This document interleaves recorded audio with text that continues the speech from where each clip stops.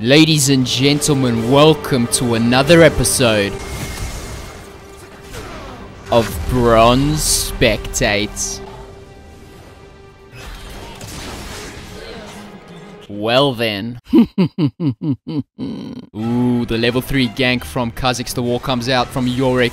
But Kha'Zix just jumps over it. Yorick does have flash, and he's going to get away. Oh, the flash in from Garen under tower.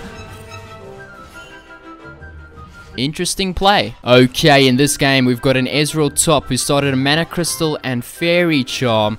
And he doesn't seem to know that auto attacks draw minion aggro because he's taken so much damage from minions.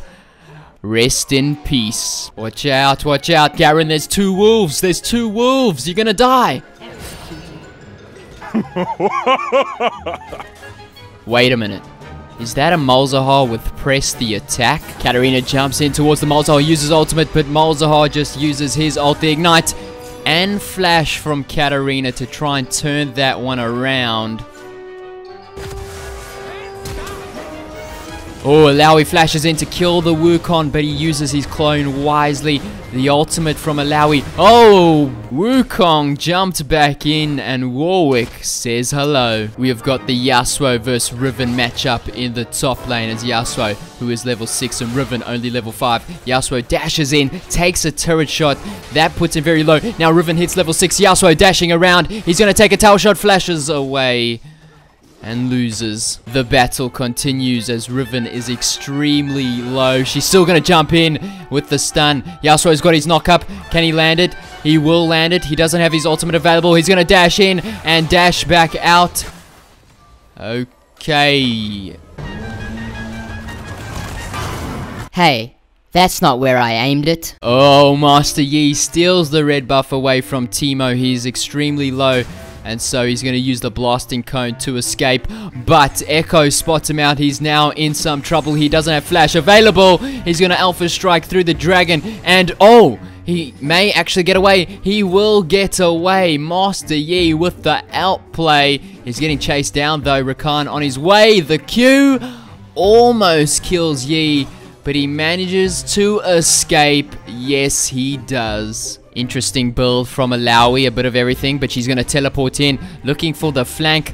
Uh, she's going to teleport in towards three enemy champions. The 1v3 didn't work out. Yasuo is going to take down the tower, but he may die for it as Warwick, oh, he flashes over, and then the knock-up gets the last breath. He turns it around and takes down Warwick, and now he can just get the inhib. The Nexus is open as well. I'm not sure why he didn't go for the top inhib, but he's going to get the middle one. Two of the blue team are left. It's just Malzahar and Rakan. They are going to have to back. He will get the inhibitor. Now he just has to get the Nexus to end the game.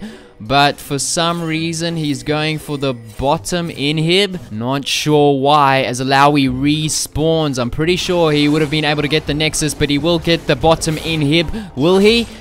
Uh, hello, one more hit.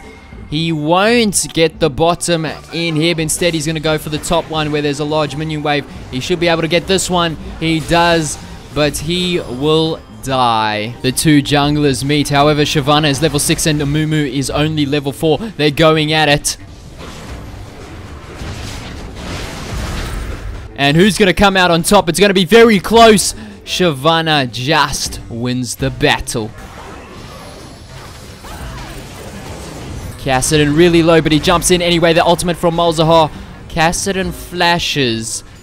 I guess he forgot that he put flash on D and not F. The Nexus is open. Lux looking to end the game. Can she do so as Teemo flashes in to stop her?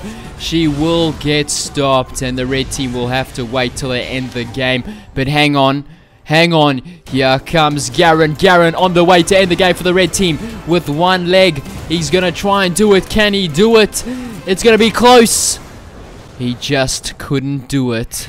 So we have got another classic level 1 invade, but apparently this one is in gold and not bronze. But they do say gold is pretty much just shiny bronze. So let's see what happens as Katarina flashes to kill the Tryndamere with Ignite. He will go down. Could not escape that one. Tryndamere was the jungler. The red team, do they hang around now? Darius is going to walk in.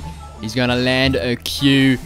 Um, just some back and forth poke damage at the moment. Jarvan is getting pretty low. The ignite from Gnar as Gnar flashes in to try and get the kill. Did he kill the Jarvan? No, he did not as Gnar goes down as Darius flash for that one. Gangplank picking up the kill. Karma now very low. Gangplank flashes to take down Karma. Karma also flashed away, but it was a bit too late as she still went down. Corki arrives to the party as well. Tryndamere is also back after dying.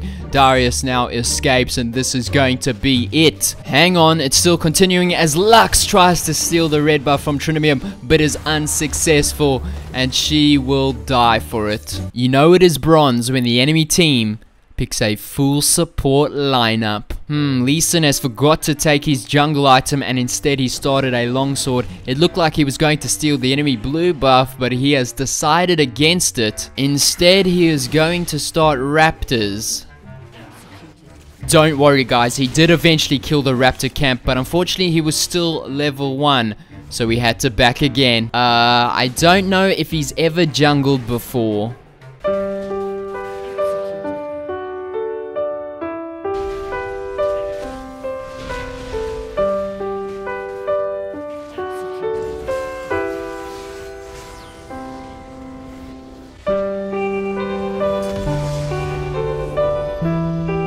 Strike firmly. All three inhibs are down, and the blue team just looking to get the Nexus at this point.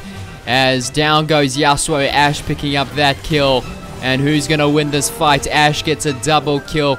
Looking for the triple kill. Oh, her whole team is dead though. She does get the triple kill. Can she get the quadra kill? It's the penta kill. Ladies and gentlemen, that is how you get a penta kill in bronze stand and deliver. GG, well played.